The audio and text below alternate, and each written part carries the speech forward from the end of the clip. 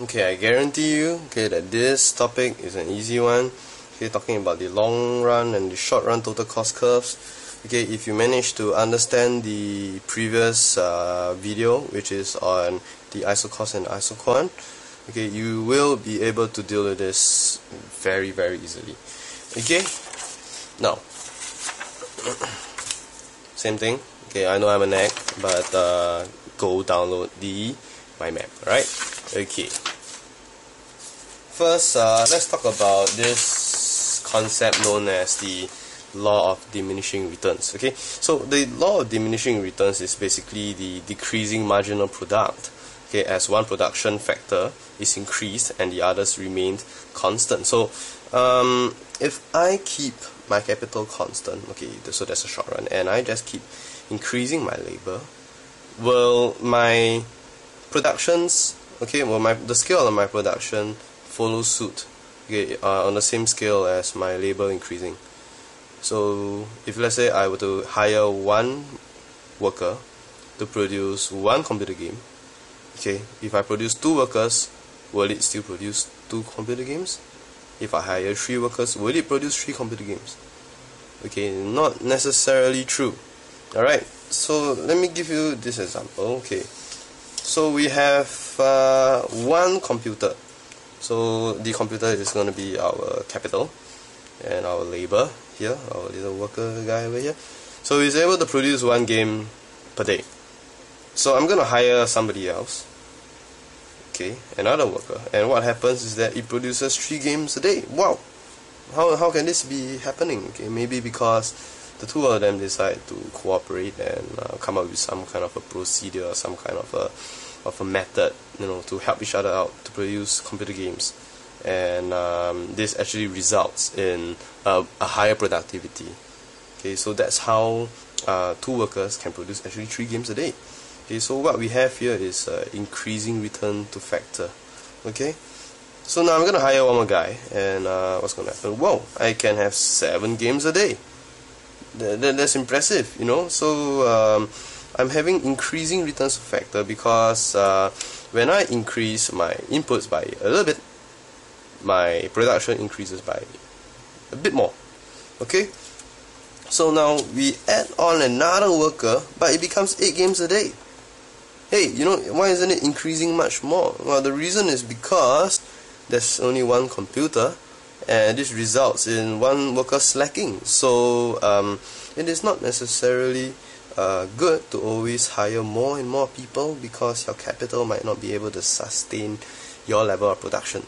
Okay, so that's what the law of diminishing returns is telling us. Okay, so um, how do we know this? Is there a way to prove this?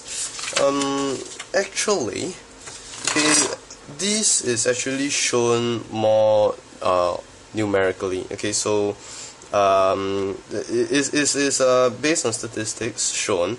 Okay, so there's really no mathematical model to to show you know why this thing happens, but uh, yeah, anyway, okay, this is what the short run total cost should look like because of this thing known as uh, return to return to factor, uh, the law of diminishing returns. So this is what it looks like, the, the short run total cost, and this part where it's uh, caved this way is your increasing returns part and where it's caved in this way is called your decreasing returns part and the middle part you know where it changes you know the the the the um yeah the, the point where it changes direction okay it's your constant returns part and the total cost curve is going to start at uh, this point over here on the total cost because that rep represents your fixed cost okay? Yeah so this is what the total cost looks like. You just gotta know that it's in this shape and uh, what this side of the slope means and what this side of the slope means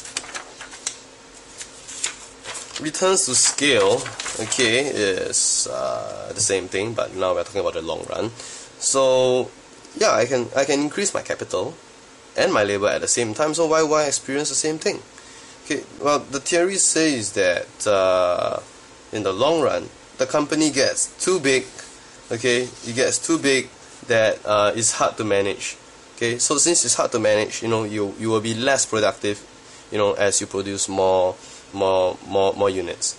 Okay, so what we have here is that as the inputs increase, more levels in management okay, is required to control the resources. Therefore, it leads to inefficiency and therefore it leads to decreasing returns. And this is how your total cost curve is going to look like. Okay, and the reason why it starts at the origin is because the fixed costs are variable. So everything is variable, you produce zero, okay, you will pay zero. Right? Okay, we're almost done. Okay, so this is a fast one.